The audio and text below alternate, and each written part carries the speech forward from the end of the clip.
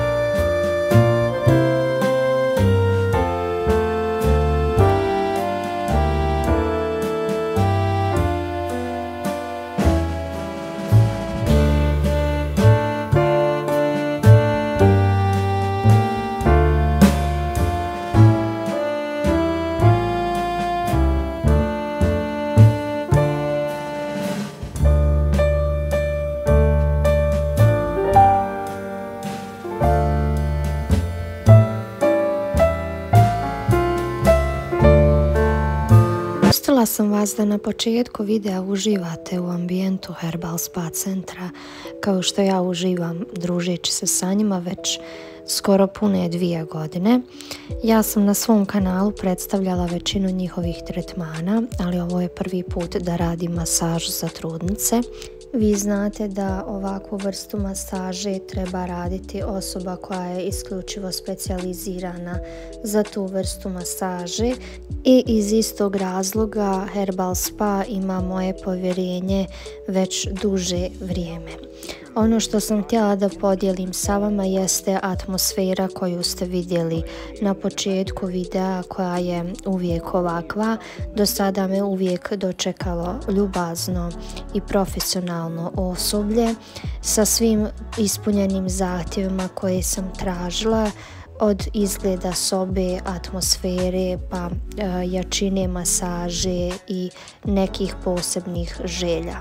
Ovakva masaža traje e, cijeli jedan sat. Ja vam to naravno nisam sve pokazala kako bi sami morali da zakažete termin i da uživate u masaži. A na njihovim stranicama koje se nalaze u opisu ovog videa možete pronaći detaljnije informacije o njihovoj lokaciji i o svim ostalim bitnim detaljima koji vas zanimaju. Ostavite like na ovom videu, pretplatite se na moj kanal, a mi se vidimo u sljedećem.